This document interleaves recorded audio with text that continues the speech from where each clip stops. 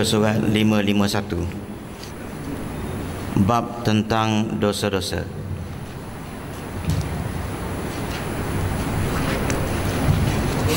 Selepas bab riba tu kita pergi terus kepada bab tentang dosa-dosa.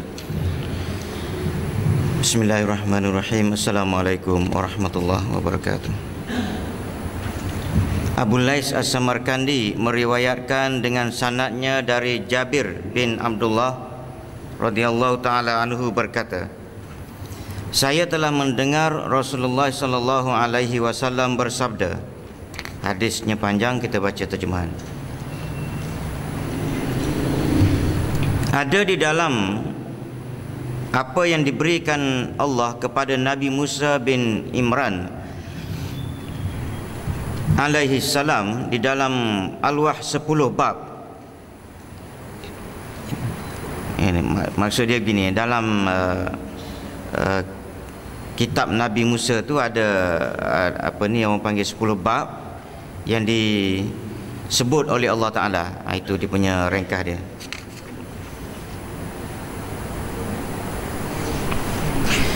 Yang pertama, Hai Musa, jangan mengen- uh, menyekutukan aku dengan sesuatu apapun. Sebab aku telah memutuskan bahawa api neraka akan menyambar muka orang-orang musyrikin yang menyekutukan Allah. Dan taatlah kepadaku dan kepada kedua ayah bondamu nescaya Aku pelihara engkau daripada bahaya dan lanjutkan umurmu dan aku hidupkan engkau dengan penghidupan yang baik. Kemudian aku pindahkan engkau ke alam yang lebih baik. Dan jangan membunuh jiwa yang aku haramkan kecuali dengan hak. Nescaya menjadi sempit bagimu dunia yang luas dan langit dengan semua penjurunya dan akan kembali engkau dengan murkaku di dalam api neraka. Dan jangan sumpah dengan namaku dalam dusta atau derhaka sebab aku tidak akan membersihkan orang yang tidak sucikan aku dan tidak mengagungkan nama-namaku. Jangan hasad, iri hati terhadap apa yang aku berikan kepada orang kerana penghasad itu musuh nikmatku. Menolak kehendakku, membenci kepada pembahagian yang aku berikan kepada hamba-hambaku. Dan siapa yang tidak meninggalkan hasad itu, maka bukan daripadaku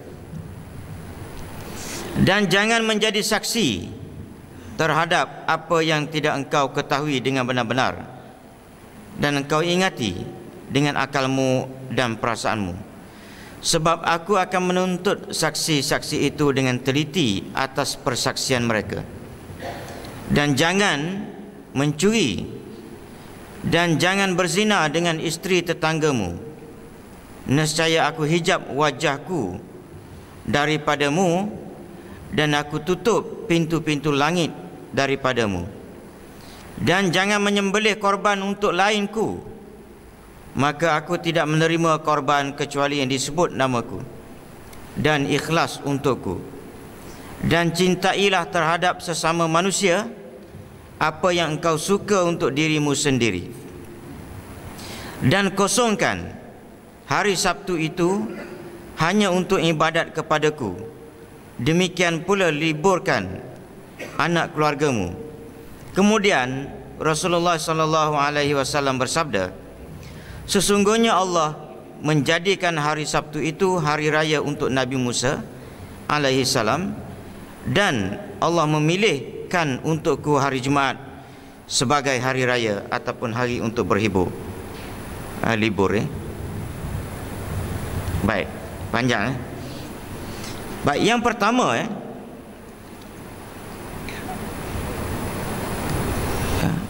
Nabi Musa di uh, di apa ni orang panggil diseru oleh Allah Taala. Nombor satu dia kata jangan sekutukan aku. Sebab dia kata kalau sekutukan aku ni jadi orang musyrik. Bila jadi orang musyrik maka api neraka akan sambar automatik. Ya. dan musyrik ataupun syirik ini uh, ialah kalau kita baca kitab terutama sekali kalau kita kata kita baca kitab uh, Asyid Sekutub uh, dalam tafsir fi zilalil Quran.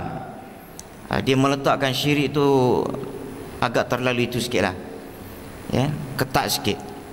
Ya uh, contohnya kalau sekiranya kita ada pelihara anjing. Ya kita ada pelihara anjing tiba-tiba ada orang mari mencuri rumah kita. Ya mencuri lalu menyalak lalu kita sedar uh, selamatlah kita daripada dicuri.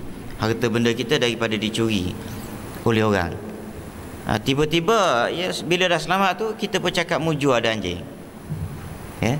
Jadi asyhad saya kutub dia kata bila sebut muju ada anjing uh, maka syirik lah ya? Uh, jadi agak ketat sikit. Ya. maknanya di sini kita kena jaga betul keyakinan kita tu biar tentu apa yang berlaku pada diri kita tu Allah Taala punya cerita. Ya, itu yang maksud yang saya apa ni Syekh saya kutub nak. Ya. Jangan kata longgar sangat sampai peringkat hilang Tuhan. Ya. Ha, jadi anjing tu sebab musabab. Ya. Supaya jangan orang panggil ialah maknanya macam matilah. Pasal apa mati accident? Ha, biasa kan? Ya. Jadi kalau orang bagi orang yang yang tahu yang jaga sebut tu maknanya dia sebut. Pasal apa accident? Pasal apa mati? Accident. Maknanya bukanlah accident tu yang menyebabkan mati. Tetap Allah. Ya? Cuma kena beringat. Maknanya jangan jangan jangan orang panggil. Jangan sampai tak nampak langsung Allah. Kita sebut accident tu hanya sebab saja. Ya? Aku punya rumah selamat semalam sebabnya anjing. Hak tentunya Allah Taala nak selamatkan aku. Kan kalau tak ada sebab tu orang panggil dia akan jadi semua orang jadi beriman kepada Allah. Kan?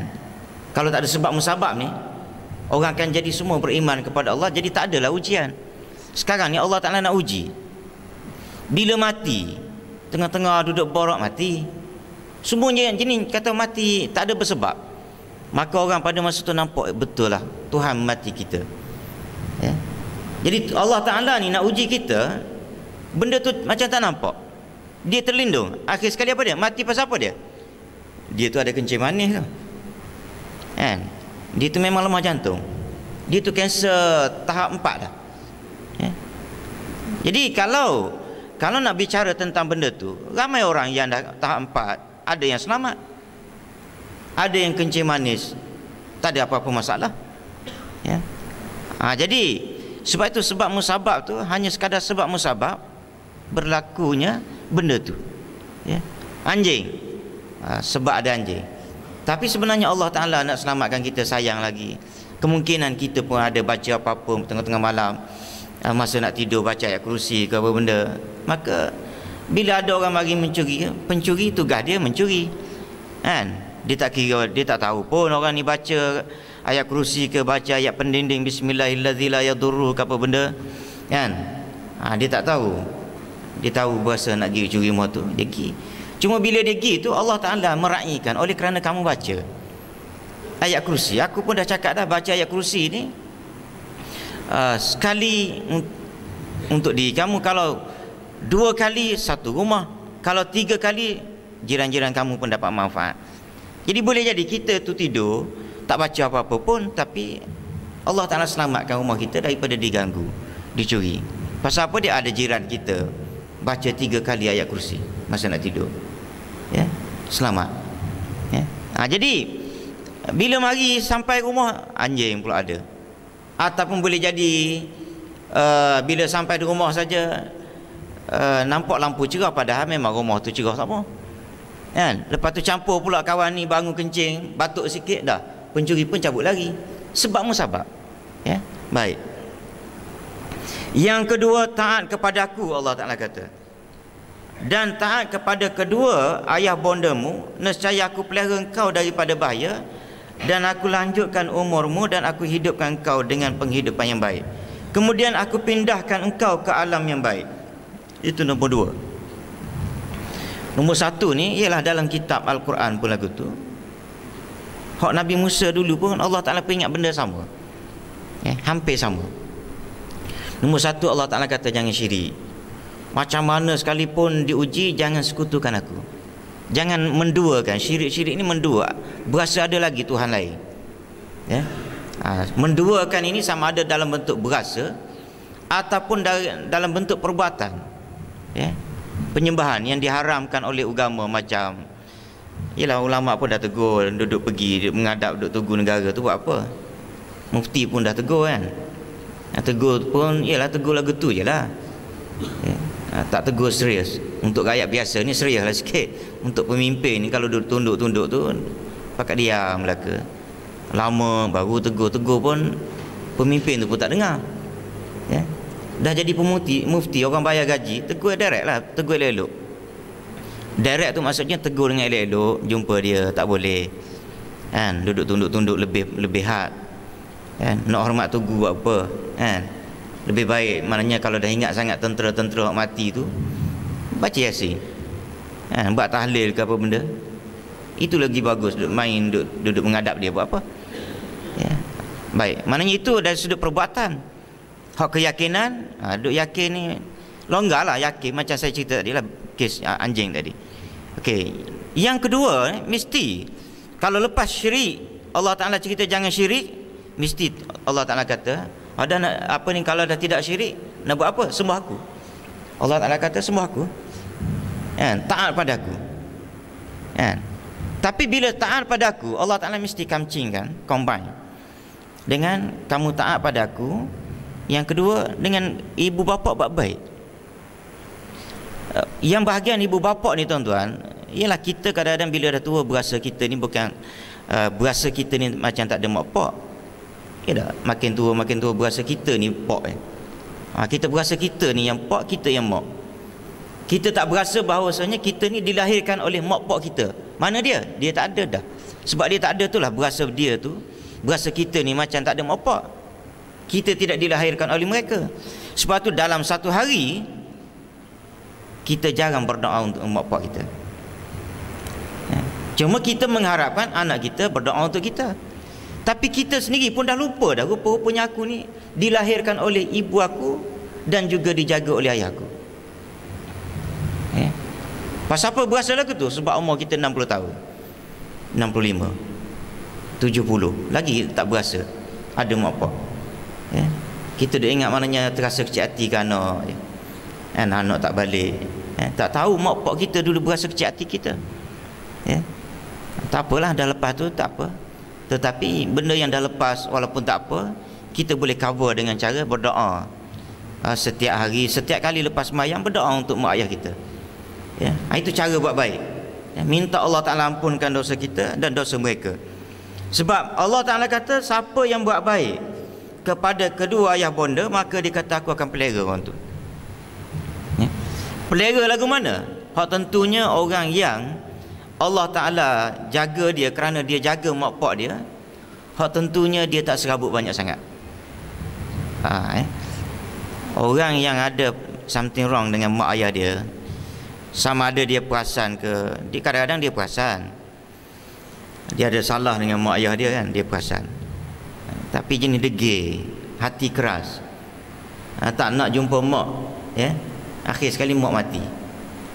Ayah mati ha, masa tu barulah mari. Tapi hok degil ni pun ada saya jumpa dia kelahi dengan mak ayah dia. Dia tak berasa apa-apa pun. Ya dia tak berasa. Tapi tuan-tuan saya berani cakap. Kan? Berani cakap bila saya tahu kes lagu tu saya kata hidup dia memang susah. Memang betul tuan-tuan sampai sekarang susah. Kalau saya kenal lah kan? Ada kes-kes yang mak dia mari jumpa kita cara lagu mana nak suruh anak dia jadi orang panggil elok sikit elok yang mak kata nak suruh jadi elok tuan-tuan. Bukan kerana dia tengking mak, mak, mak dia uh, ataupun herdik mak dia tidak. Kan? Tak jenguk je. Jadi mak ni dia bila ala ketua dia berasa hati tak jenguk. Kan? orang lain call saja pergi lalu.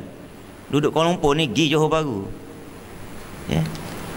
Balik uh, Kuala Kangsar Perak Kota Baru Kedah. Urusan lain lah kan? Kawan panggil ke apa benda ada kenduri kahwin ke. Tapi nak tengok mak ayah tu mak duduk kampung tu kita macam tak ada kekuatan.